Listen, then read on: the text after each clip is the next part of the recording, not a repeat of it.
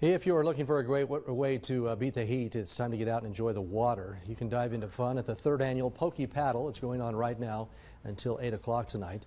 Uh, this event features a community river float, live music, food trucks, local vendors, plus a new feature this year is a giant 100 foot slip and slide.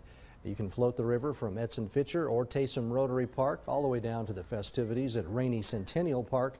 This is free. It's open to everyone. You can bring your own items to float the river or there will be some there to rent.